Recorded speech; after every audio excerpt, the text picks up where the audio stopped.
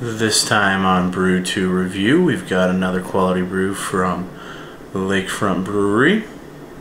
Um, this time it is a fruit beer. It is the Brandy Barrel Age Cherry Lager. Um, I was a big fan of their uh, Brandy Barrel Aged Pumpkin Lager last fall, so I knew that they they uh, they do brew this. Uh, it must be during the summertime. So, been waiting to find it and try it out. Um, so the bottle, actually, here we go.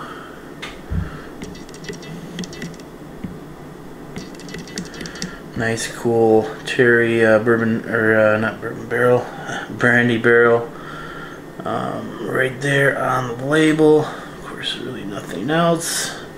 It's got the custom two uh, you know these are custom colored to the brew uh, the label at the top there and then of course it's got the regular lakefront brewery cap. Um, this one's supposed to pour deep red with a thin lacy head and uh, have a scent of strong brandy overtones of fresh cut oak tobacco, and red fruit.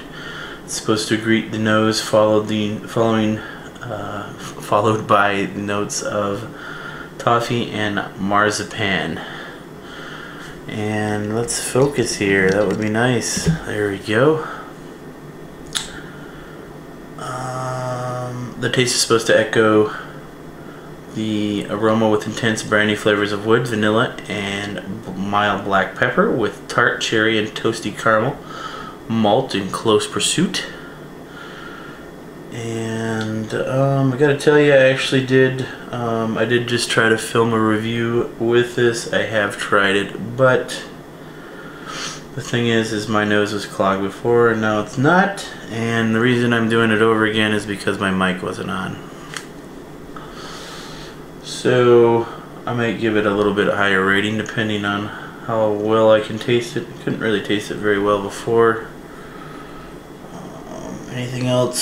So it does have a 10.7% ABV, so it's a little bit higher than your average beer. Actually, probably pretty much double your regular beer. And uh, it is a cherry lager, which is something different for a change. It's supposed to pair uh, really well with dried fruit, um, almond infused dark chocolate, or a generous chunk of Ader Kase reserve cheese. Never heard of that. Let's look and see what that is. Since we are in Wisconsin, this cheese is probably from Wisconsin.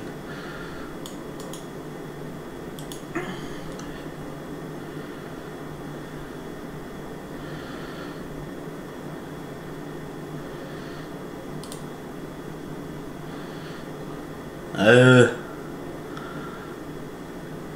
no, that's not happening, man. It's a it's a blue cheese. Not not a fan of blue cheeses, so we'll skip that.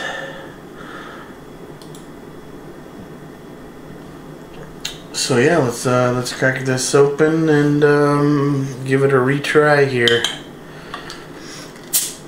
So yeah, the reason I said my nose is clogged, it is still a little bit more, still a little bit clogged, but I do have allergies. It is the summer. Um, one thing I did notice last time and this time when I pour this, it is it is uh, noticeably red. But we can't really get it that well on the camera. Well, I mean a little bit.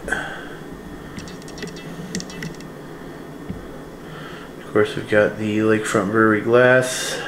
Cool. If you ever uh, have a chance um, and you're in the Milwaukee area, definitely recommend going on their brewery tour. Just a standard tour will do it. Um, it's $11 a person. You get four wooden tokens. You can use those wooden tokens to get samples of beer. Uh, usually they're pretty generous sized. Um, they're not full pints or anything, but uh, yeah, you can get those, and then you can actually um, at the end, if you keep your cup, your plastic little disposable cup, you can trade it in for a real cup, which is cool. They also have really awesome, um, unique recipe like beer, or uh, not beer, like lunch and uh, like bar snacks, kind of. Really, really good. I actually have been there twice. Once with Sarah, once with my parents. Uh, this last time that they went, or they they went, that they uh, came to visit. So let's get on with this. Definitely you can smell the brandy and um, the cherry. I can't really have it. Didn't before I wasn't able to taste the cherry very well.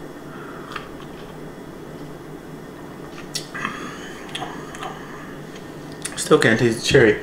I've been eating cherries all day. It's cherry season.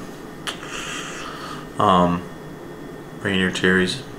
I don't know. This just doesn't taste very cherry-y to me. It tastes more brandy-like uh, with kind of, I don't know.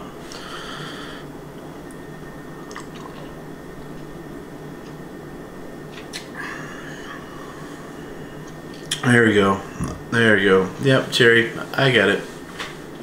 Finally